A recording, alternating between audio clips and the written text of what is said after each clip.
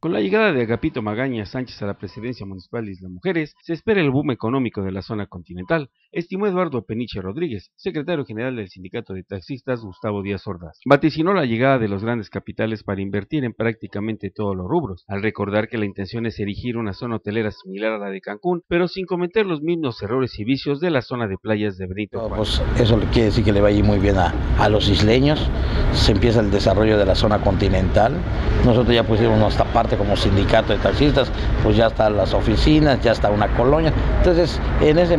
con ese empuje que vaya dando él, se vaya abriendo y se vaya dando entonces lo que es la abertura de la ciudad mujeres. Dice que las expectativas son inmejorables principalmente para los sectores inmobiliario y turístico del macizo continental, porque en lo que respecta a la ínsula, dijo que la cuestión es más bien de logística y supervisar que siempre esté libre. Pero el boom en realidad es la zona continental y ya con la llegada de nuestro presidente nuevo, Agapito Magaña, pues es seguro que se va a dar ya para las viviendas, para la, la ciudad de apoyo, todo eso es en camino, ahí vamos a estar ahí presente ahí con él apoyándolo en lo que necesite. Conocido popularmente como Guato recordó que tiene la experiencia para ello, por lo que reitera que uno de los principales retos del edil electo es abrir y aclarar el panorama que hace años espera para la parte continental del municipio. Detrás de la cámara, Víctor Álvarez. En el micrófono, para Notivisión, Carlos Águila Arreola.